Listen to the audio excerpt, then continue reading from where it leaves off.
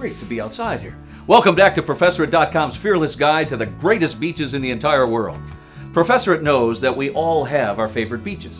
So if we don't mention yours, remember it's because we both want to keep it a secret.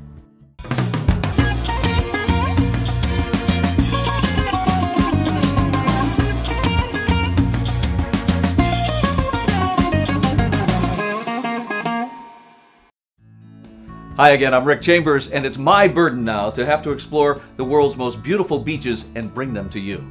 In this segment, we look at the Caribbean, which only happens to be practically synonymous with beautiful, so making a selection here is really going to be difficult. Still, the Trunk Bay and other beaches of St. John's Island, Virgin Island National Park, they belong on anybody's list out there.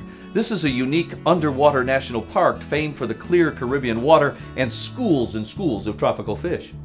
Other easy picks include Shoal Bay, Anguilla, Half Moon Bay in Antigua, Paynes Bay in Barbados, and Grand Anse in Grenada. While we're at it, let's not forget Tulum on the Yucatan Peninsula of Mexico. Yes, that's right, the Caribbean too is there. And there are lots of wonderful barrier islands down in Belize, not to mention the Cayman Islands, and all those long strands over in the Dominican Republic. Jack Sparrow certainly came to the right sea if he wanted beaches.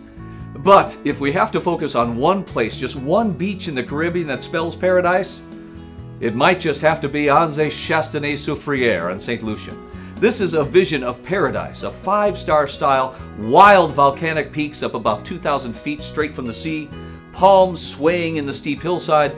Yes, much of this beach is part of a world-famous resort, but public access gives everybody a chance to experience the perfection here. All this, and it's part of a UNESCO World Heritage Site. And those were the best beaches of the Caribbean. You've got a lot to choose from. I'm Rick Chambers.